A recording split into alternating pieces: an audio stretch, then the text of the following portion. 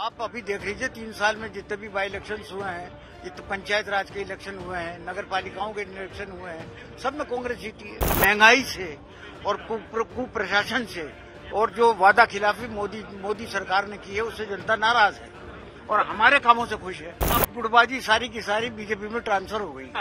वहाँ ग्यारह ग्यारह आदमी जो है, मुख्यमंत्री जी की शपथ ले, मुख्यमंत्री की शपथ के लिए घूमते फिर रहे हैं। हरिवाल जी, आप सबसे वरिष्ठ मंत्रियों में से हैं, अशोक गहलोत सरकार के। पर पिछले 20 से 25 साल के समय में अगर देखा जाए तो कांग्रेस कभी भी रिपीट नहीं कर पा रही अपनी सरकार को। क्या लगता है? रिपीट होगी या देखिए जनता देखेगी कि आप आश्वस्त है सर इस बात को लेकर? आप अभी देख लीजिए तीन साल में जितने भी बाई इलेक्शन हुए हैं जितने पंचायत राज के इलेक्शन हुए हैं नगर पालिकाओं के इलेक्शन हुए हैं सब में कांग्रेस जीती है। पर विपक्ष जनता जनता जो है आज हमारे हमारे साथ है। तो इसलिए जनता रिपीट करना चाहती है क्योंकि महँगाई से और कुप्रशासन से और जो वादा खिलाफी मोदी मोदी सरकार ने की है उससे जनता नाराज़ है और हमारे कामों से खुश है। धारीवाल जी एक बात बताएँ कि विपक्ष बार बार कह रहा है कि खुद मुख्यमंत्री इसका काम ही यही है कहने का। और इसके अलावा उनके पास है क्या कहने के? तो तो कुछ न कुछ तो कहेंगे। सर मुख्य अगर ये बता दें कि साहब उनके टाइम पे क्या उपलब्धियाँ नहीं कोई उपलब्धि नहीं। क्या उपलब्धियाँ देखिए आप विषम परिस्थितियों में महामारी के दौरान भी जो है आर्थिक संकट कितना था जब राजस्थान सरकार पर।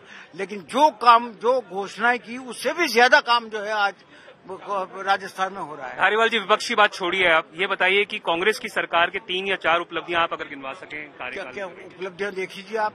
सारी चिरंजीवी योजना बड़ी सबसे कितनी बड़ी ज़बरदस्त योजना है। आपका जो है इंफ्रास्ट्रक्चर तो कितना बड़ा इंफ्रास्ट्रक्चर तैयार किया गया है। रिफाइनरी रिफाइनरी चल रही है। वगैरह वगैरह ऐसी कई योजनाएँ हैं कई योजनाएँ हैं। क्या लगता है कि जो गुटबाजी देखी गई पिछले साल उसको आप मानेंगे थी, थी गुटबाजी? जो गुटबाजी पिछले साल देखी गई क्या लगता है खत्म हो चुकी है। खत्म हो चुकी है। तो दो साल में और ज़्यादा अब गुटबाजी सारी की सारी बीजेपी में ट्रांसफ़र हो गई। वहाँ ग्यारह ग्यारह ग्यारह आदमी जो है मुख्यमंत्री जी की शपथ ले मुख्यमंत्री की शपथ के लिए घूमते फिर रहे हैं। तो शांति धारीवाल जी वरिष्ठ मंत्री हैं राजस्थान सरकार में। एक सवाल सर आपसे ये भी बनता है कि आप अकेले ही माना जाता है कि हैंडल कर लेते हैं पूरे विपक्ष को।